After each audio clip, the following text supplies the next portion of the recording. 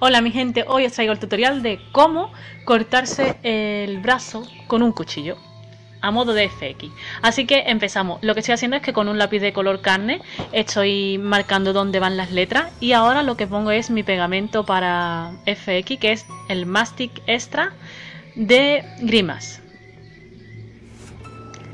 Ahora aplico la carne artificial, la pongo que más o menos me cubra todo. Yo he dejado una parte sin cubrir porque quiero que después veáis un efecto que os voy a comentar. Y lo que hago con una espátula mojada con un poquito de crema hidratante, voy difuminando lo que son las orillas de fuera. Como veis aquí ya está todo difuminado y con crema hidratante lo que estoy haciendo es terminar de difuminar del todo esta orilla y toda la carne para que parezca que no llevo nada puesto. Como veis queda así, bastante lisito.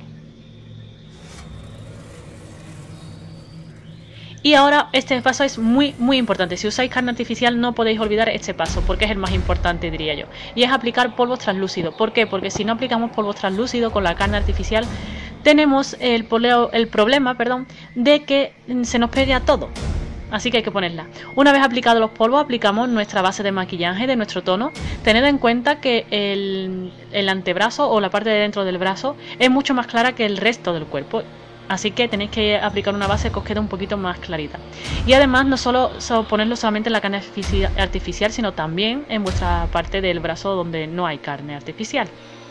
Con otro, otra espátula, esta un poco sesgada, con, como veis, que así como si fuese de un cuchillito, lo que voy a hacer es ir haciendo las letras.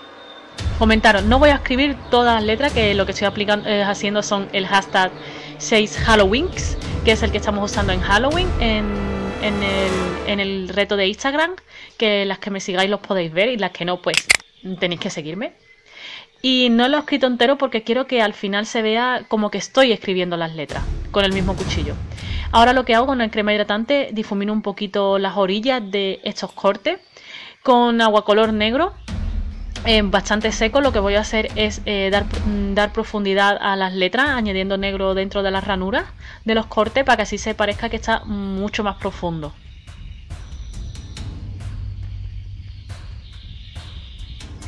Y aquí eh, lo que estoy haciendo es que con una paleta de, de labiales que tengo de Aliexpress que compré hace tiempo pues la estoy usando para hacer como esa zona ya pues un poquito amoratonada de, haber tenido pues eso, pues un corte.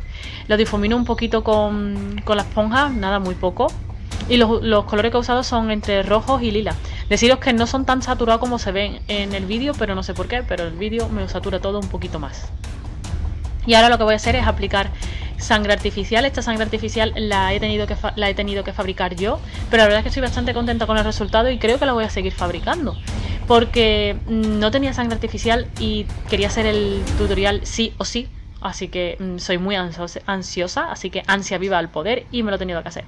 Abajo en la cajita de información tenéis cómo lo he hecho, que es bastante sencillo y son productos que todas tenemos en casa o que podemos comprar en cualquier sitio. Eh, ahora con la esponja de textura.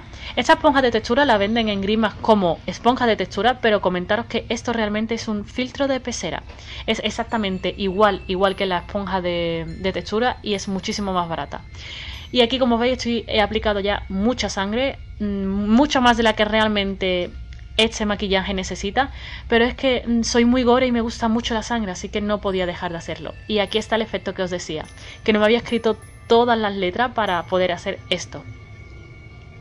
Y nada, espero que os guste. Yo la verdad es que he quedado encantada con el resultado. En, las fotos que vais a ver a continuación se podéis ver de cerca mucho más los detalles.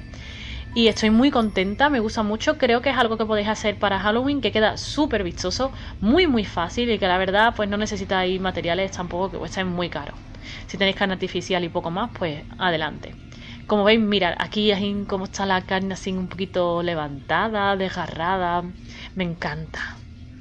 Y nada, aquí lo que veis, em, ya sabéis, si no has visto mi último vídeo, te mm, sugiero que pases por él, que es como mm, hacer este maquillaje de cara explotada. Da justo encima de las imágenes que estás viendo porque te van a llevar al vídeo y si no, también da suscríbete al botoncito rojo para suscribirte al canal y no perderte nada. Gracias.